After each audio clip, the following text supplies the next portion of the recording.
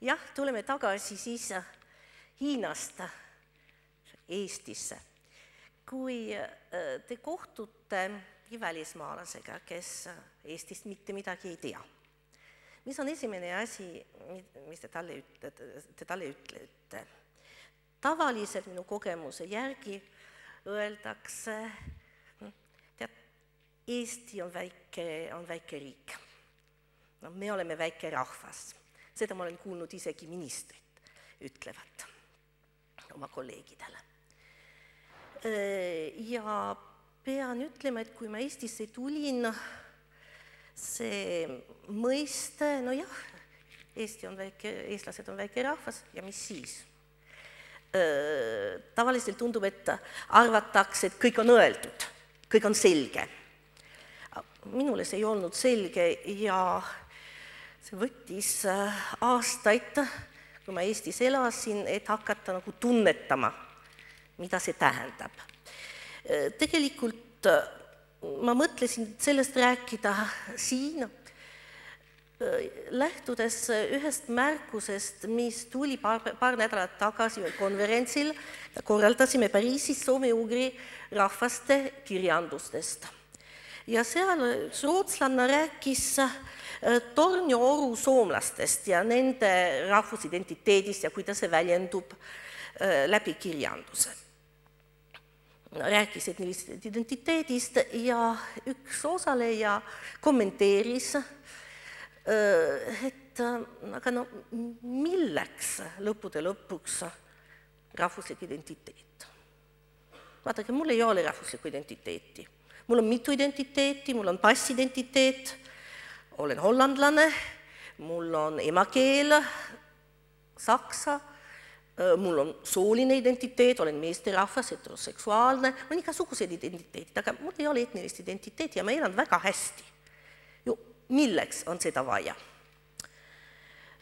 sellele vastas esineja, no muidugi, no sina oled sündinud Saksamaal, sa oled pärit suurriigist, sa ei ole teadlik sellest, küll sul on etniline identiteet, sa lihtsalt ei tea sellest. ja need see mõttevahetus pani mind mõtlema, sest mulle tundus, et nii küsimuses kui vastuses oli tõetera ja samas ei olnud ei üks ega teist totaalselt veenvad, sest mõlemad eksisid selles mõttes, et lähtusid selles, et peab olema üks identiteedimudel, mis kehtis kõikidele aga ma ei taha sellest rääkida, vaid pigem äh, sellest kommentaaris, et sa oled pärit suurriigist äh,. ju, ju sa ei tea. ja see tõetera, mis, mis seal on tundub, et, et jah, tuleks seda rõhutada. Sest äh, nii nagu see erinevus väike ja suur oli minu jaoks täiesti arusaamatu alguses ja ma sain sellest aru ainult läbi elades siin Eestis ja koos eestlastega nende ütleme, argielu ja, ja argitundeid. nii ma sain aru, et see, kes võib maailma niimoodi jaotada, on just need, kes on ise oma, oma rakkudes tunnetanud et olla väike on tähendusrikas, sellepärast et see tekitab neile probleeme, et on raskusi, et nad on allutatud, et nad on haprad. ja sellepärast on eestlastele see, see mõiste täiesti enesestmõistetav, ei ole vaja seda lahti seletada. Aga no suure riigi esindaja, no ta arvab, et on normaalne et ta ei tunne ise seda suurust.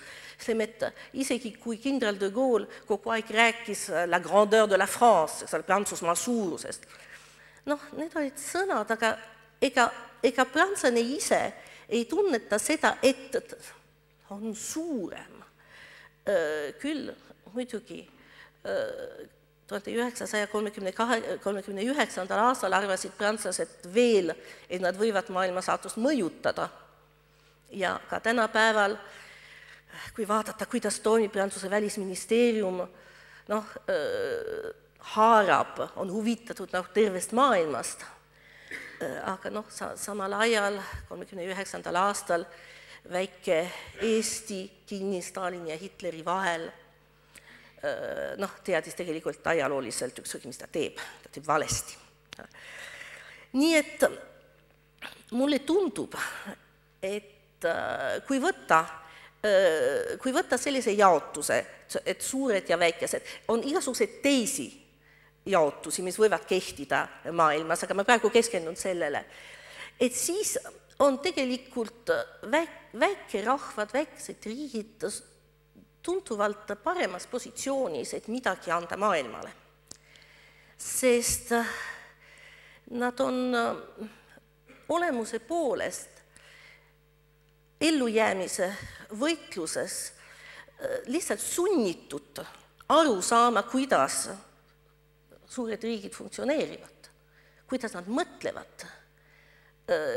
on selge, et kas see meeldib või ei meeldi, eestlased olid ju sunnitud tundma, kuidas see Vene maailm funktsioneerib, sest nad elasid seal sees, keegi ei küsinud, kas see neile meeldis ja olid allutatud nendes, nendele reeglitele, nii et neil selline arusaamine oli. aga teiselt poolt see suur, isegi kui ta on heatahtlik, ega ta ei pruugi tajuda, et võib asju vaadata hoopis teisest vaatevinklist. nii et mulle tundub, et selles maailmas on väikesel mingeid eeliseid ja et oleks oluline, et nende, nende hääled oleksid kuulda isegi kui äh, võtame selline asi nagu, mis domineerib tänapäeval, nagu standardiseerimine, igal pool püüakse leida äh, selliseid ähm, äh, üldiseid reegleid, süsteemid, kuhu, kuhu saaks suhteliselt kõiki panna, eks ole, ankeedid, kus pannakse teid lahtritesse ja need formateerivad tavaliselt suurelt ja formaadivälised väga hästi sinna, sinna ei mahu, nii et mulle tundub, et väikesed võiksid öö, ütelda midagi konstruktiivset. Konstruktiivset ka öö, sallivuse seisukohalt, et loomu poolest võiksid olla sallivamad ja ma, ma võiksin jätkata seda juttu. aga tegelikult see on väga abstraktne jutt. See on väga abstraktne jutt ja tegelikkuses asjad päris niimoodi ei käi, see on, see on skeem, sest äh, kui mõelda, kes on äh, sallivuse kõige suuremad vaenlased, on üldiselt, olgu nad väikesed või suured, on need, kes arvavad, et, et äh, neil on tõde käes. aga ohtlikumaid on just need, kes olles võimsad, olles suured, arvavad, et neil ongi öö, tõde. ja sellepärast mulle väga meeldis selle Martin Jacques'i kõne, mida me äsja kuulsime. Need, kes niimoodi mõtlevad, lämmatavad, hävitavad. ja võivad hävitada väga palju, mis teeb meie maailma ilusaks see maailma ilu minu jaoks seisneb just selles suhtes, erinevuses ja, ja ühise, ühises asjas.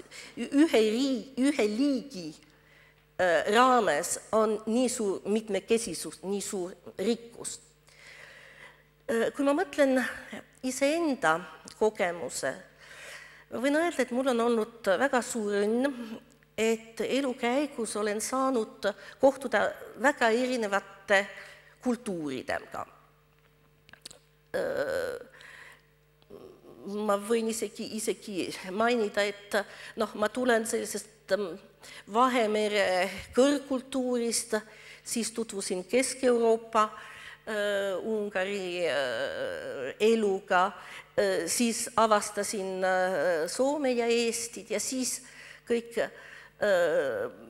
agraarsed kultuurid Kesk-Venemaal kuni öö, põhjapõdra kasvatajaid Siberis. Ja just nemad jätsid mulle kõige sügavama mulje ja pani, panid mind väga sügavalt mõtlema, no muidugi mitte ainult selle ilusa eksootilisuse pärast, sest äh, see mulje kaob, kui, kui ollakse natukene harjunud, vaid just nende viisi pärast mõtestada maailma.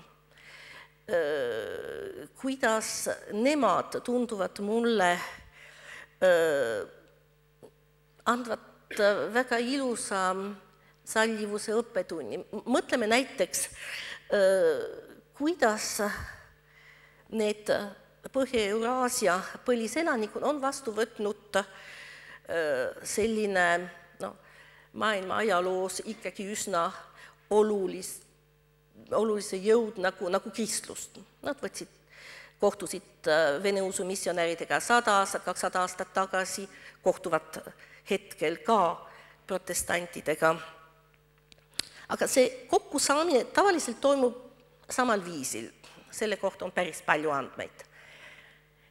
et inimesed tundras või taigas võtavad vastu äh, võõrast, kes tuleb, äh, võtavad vastu väga hästi, see on, äh, külalislahkus on, on reegel. Nad ähm, annavad süüa, juua, nad kuulavad juttu ja see ei ole see, see viisakuse kuulamine. Nad on tõesti huvitatud. Nad kuulevad, mida inimesed kaugelt neile jutustavad, sest noh, maailm on nende jaoks väga kauge ja see on väga huvitav. kõige huvitavamad, muidugi huvitatumad on muidugi šamaanid. Nende jaoks on ju põnev. no tuleb kolleeg tuleb inimene, kes nagu nemad suhtleb noh, nende tugevamate jõududega. ja nad loodavad ka saada endale midagi. Ei ole mitte mi-, midagi ebaloogilist selles, et paljud võtavad Kristuse vastu. sellepärast, et nad lisavad endale ühe kaitsja juurde. Neil ei ole mitte midagi selle kristluse vastu kus on probleem.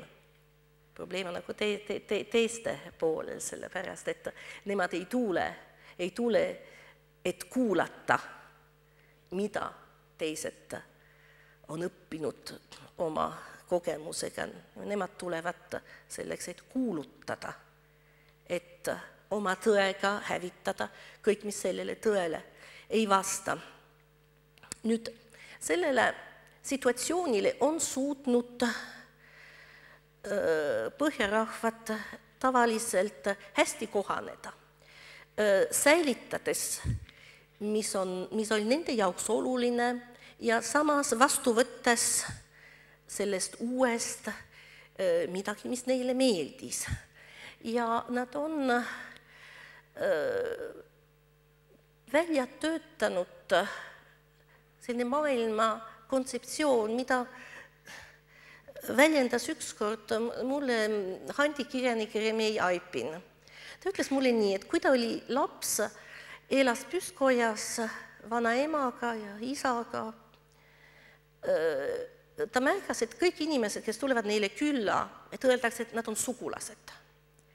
ja nii ta sai aru, et selles maailmas on kõik sugulased, ei pruugi olla veresugulased aga kõik maailmas on sugulased. Ja see on see mõte, mida ta annab edasi maailma. Ja mulle tundub, et see on, see on väärt mõte, mida, mille pärast noh, kahju oleks, kui me hävitaksime äh, selliseid mõttelaade ja mulle tundub, et see on ilus pärand ka lastele edasi anda ja millest me võiksime ise päris palju õppida